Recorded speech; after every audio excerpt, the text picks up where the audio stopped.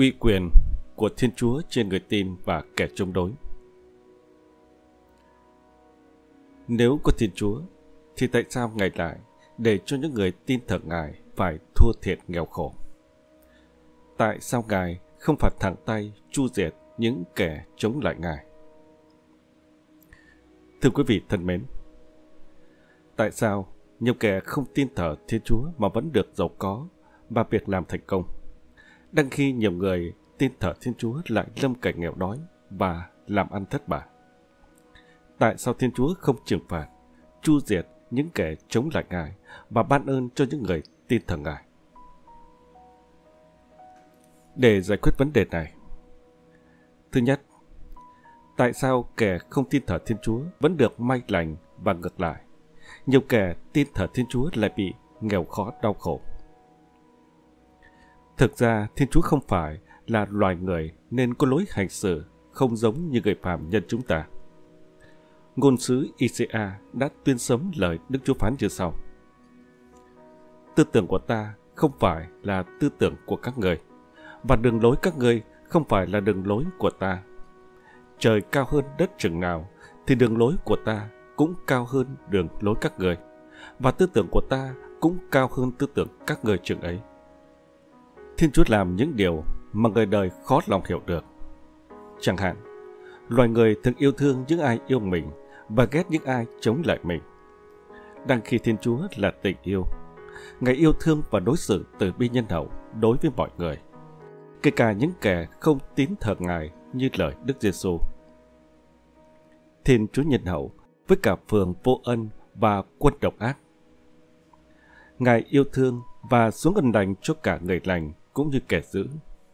Thiên Chúa cho mặt trời của người bọc lên soi sáng kẻ xấu cũng như người tốt, và cho mưa xuống trên người công chính cũng như kẻ bất chính. Thứ hai, tại sao nhiều kẻ không tin thờ Thiên Chúa mà vẫn làm ăn thành công phát đạt? Đang khi nhiều người tin thờ và Thiên Chúa lại làm ăn thất bại và bị nghèo đói. Phải chăng tin thờ Thiên Chúa là điều uổng công vô ích? Khi sáng tạo trời đất muôn vật, Thiên Chúa đồng thời dựng nên các định luật thiên nhiên, để muôn vật loài người được tồn tại và ngày một tiến hóa theo thánh ý Chúa. Loài người chúng ta, dù tin Thiên Chúa hay không, cũng đều phải tuân theo các định luật thiên nhiên do Ngài đã an bài. Chẳng hạn, muốn làm việc thành công cần hội đủ ba điều kiện là thiên thời, địa lợi và nhân hòa. Muốn có mùa gặt bội thu, cần phải gieo trồng giống lúa tốt theo đúng kỹ thuật và hợp thời vụ. Muốn bán được nhiều hàng hóa, phải áp dụng kỹ thuật quảng cáo và biết cách dạ dào. Muốn khỏi bệnh nan y, phải đi khám bệnh rồi làm theo lời khuyên cũng như uống thuốc đúng liều lượng theo tòa bác sĩ.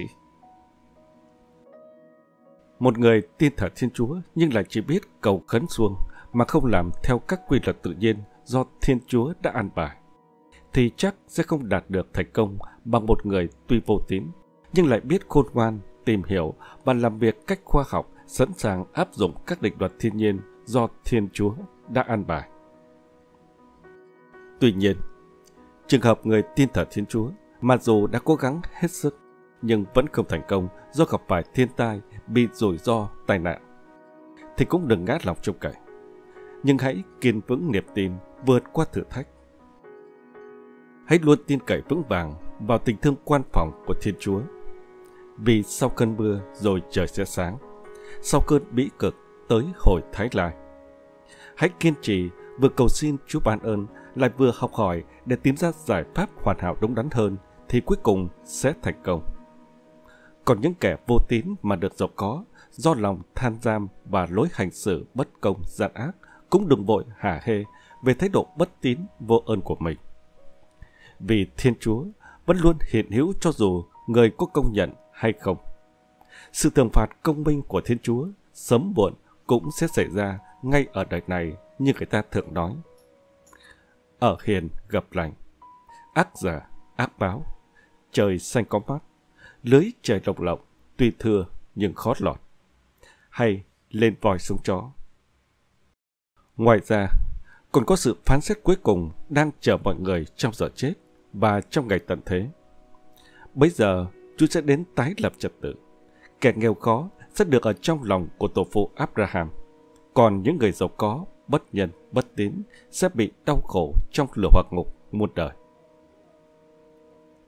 Hơn nữa, Đức Giêsu cũng cho thấy giá trị thanh luyện của đau khổ thập giá và chính người đã chọn đi con đường qua đau khổ vào trong vinh quang để cứu độ loài người theo thánh ý Thiên Chúa. Người mời gọi những ai làm theo môn đệ của người phải bỏ mình vác tập giá mình hàng ngày mà đi theo người. Người cũng đòi hỏi những ai muốn vào nước trời phải dứt bỏ lòng tham của cải bất chính và chọn đi theo con đường hẹp và leo dốc. Người cho thấy sự bất lợi của giàu có. Thầy bảo thật anh em, người giàu có khó vào được nước trời. Thầy còn nói cho anh em biết, con lạc đà chui qua lỗ kim còn dễ hơn người giàu vào nước thiên chúa. Người chúc phúc cho những người nghèo khó khiêm dù. Phúc cho anh em là những kẻ nghèo khó, vì nước thiên chúa là của anh em. Phúc cho anh em là những kẻ bây giờ đang phải đói, vì thiên chúa sẽ cho anh em được no lòng. Phúc cho anh em là những kẻ bây giờ đang phải khóc lóc, vì anh em sẽ được vui cười. Chúa đến để thiết lập một trật tự mới như Ngài đã thực hiện trong lịch sử Israel, mà Đức Maria đã khẳng định. Chúa hạ bệ những ai quyền thế, người nâng cao mọi kẻ khiếp nhường. Kẻ đói nghèo, Chúa ban của đầy dư, người giàu có lại đuổi về tay trắng. Đằng khác, ngoài cuộc sống tạm ở đời này, vẫn còn một cuộc sống vĩnh hằng ở đời sau. Để đến ngày tận thế, mọi người đã chết sẽ trỗi dậy để chịu phán xét chung. Trong thời gian còn sống, những kẻ vô tín và gian ác cần phải kịp thời hồi tâm sám hối, bỏ con đường gian ác để sống theo con đường mến Chúa yêu người theo ý Thiên Chúa. Vì thời gian của tình yêu mà lòng nhân từ có giới hạn. Vào lúc họ không ngờ, và giờ họ không biết, vua thẩm phán Giêsu sẽ đến với mỗi người trong giờ chết và sẽ tái lâm trong ngày tận thế, phán xét chung toàn nhân loại để thưởng kẻ lành và phạt kẻ dữ. Cuối cùng, kẻ dân ác sẽ ra đi để chịu cực hình một kiếp, còn những người công chính ra đi để hưởng sự sống muôn đời. Phút hồi tâm anh em đã nghe luật dạy rằng hãy yêu đồng loại và hãy ghét kẻ thù. Còn thầy, thầy bảo thật anh em, hãy yêu kẻ thù và cầu nguyện cho những kẻ ngược đãi anh em. Như vậy, anh em mới được trở nên con cái của cha anh em, đấng ngự trên trời. Vì người cho mặt trời của người mọc lên soi sáng kẻ xấu cũng như người tốt, và cho mưa xuống trên người công chính cũng như kẻ bất chính. Lạy Thiên Chúa, lạy Thiên Chúa Cha, dòng lòng tự bi thương xót, xin giúp mọi người trên thế giới nhận ra quyền năng và tình thương của cha để tin thờ yêu mến cha và sống hiếu thảo với cha, noi gương con yêu quý của cha là Đức Giêsu. Xin giúp mỗi tín hữu chúng con biết sống đức tin bằng việc thực thi đức cậy, đức mến trong cuộc sống hàng ngày, để chúng con nên chứng nhân tình yêu của cha, hầu đưa được nhiều người về làm con cái cha và sau này cũng được chia sẻ niềm hạnh phúc đời đời với cha trên nước trời. Amen.